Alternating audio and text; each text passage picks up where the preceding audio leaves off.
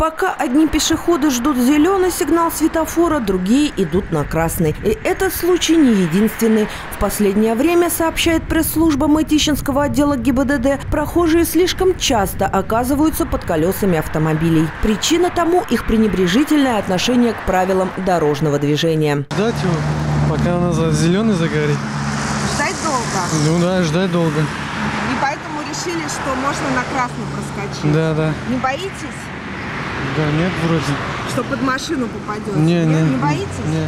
А зря буквально на днях несчастный случай произошел возле одного из торговых центров города Мытищи. 29 октября в районе 6 вечера мужчина-пешеход перебегал проезжую часть у нее установленном месте, в результате чего он получил серьезные травмы и был госпитализирован в больницу.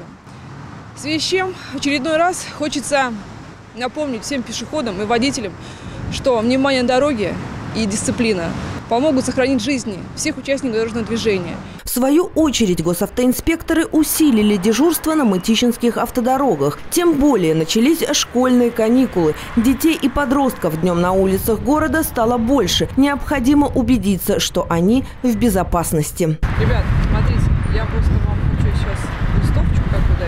дать. Называется она «При переходе дороги смотрите по сторонам».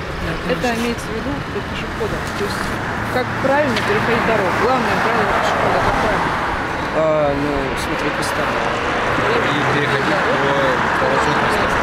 Очевидно, эти школьники уроки безопасности не пропускают. Они помнят и соблюдают правила дорожного движения, знают, какими порой страшными последствиями может обернуться беспечность на проезжей части. Посмотрите, этот мужчина, пересекающий улицу Борисовку, чудом уворачивается от мчащегося на него автомобиля. Интересно, но это еще не все. После подобной пробежки пешеход может получить штрафную квитанцию. Существует раздел целый в правилах дорожного движения, раздел 4, в котором прописаны правила и обязанности, права и обязанности пешеходов.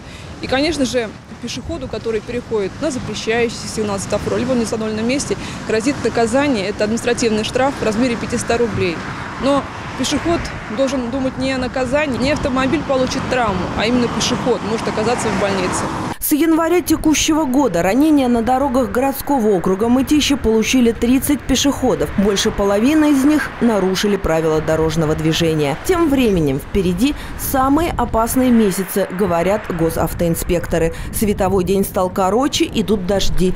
Заметить помеху на проезжей части в таких условиях водителю непросто. Вовремя затормозить еще сложнее. Словом, пешеходам не стоит рисковать. Напротив, воспользоваться дополнительными мерами безопасности. И обязательно в темное время суток использовать световозвращающие элементы, которые помогут сохранить жизнь человеку.